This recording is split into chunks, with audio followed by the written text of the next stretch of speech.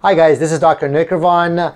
Uh, this is Kelly Lewis. She is a great patient of ours. She is 19 weeks post radiofrequency ablation.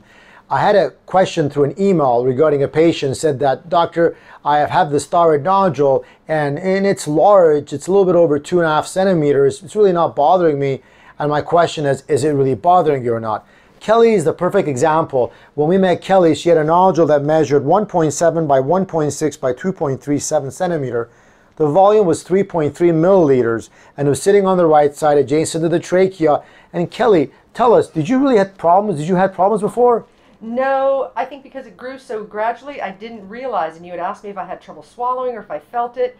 And I kept saying no until after I got the procedure done and then realized, oh, there was something there and it was causing problems. So the slow growth of the thyroid nodule creates a compensation by pushing the surrounding structures to the side, and people live with the surrounding discomfort until it gets really, really large. We always encourage the patients to get it done sooner, and Kelly eventually realized that that was the case, and she had it done before she had lots of symptoms. But after the procedure, she realized, oh my God, it's gone. There's nothing I could swallow. When I turned my head, I used to feel it and I didn't realize it. Now it's I don't feel anything now. So today you're 19 weeks post and your volume has gone from 3.30 down to 0.43.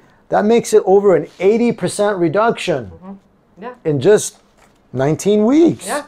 You've got at least another half a year to go before it really gets even smaller. Right. So I'm pretty pleased. So the answer to the question is you really want to get this thing treated and sometimes you live with it, you just don't know it and you compensate with it until it's gone and you realize, oh my God, I'm so glad I dealt with this because I had no idea what the symptoms were, which are the discomfort, the slight compression, the trickling of the throat, coughing sensation, that and we are excited to have this thing treated. Yes, yes. Wonderful. Congratulations. You did great. Thank you. So did you. Thank you.